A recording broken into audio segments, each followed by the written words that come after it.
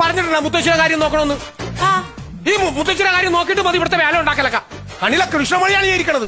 വേദനിപ്പിച്ചാലുണ്ടല്ല. ആ കണ്ണിന്ന് ഒരിറ്റു കണ്ണുനീർ കവിളുകളിലൂടെ ധാരയായിട്ട് ഒഴുകി ഈ ഭൂമിയിൽ പതിച്ചാൽ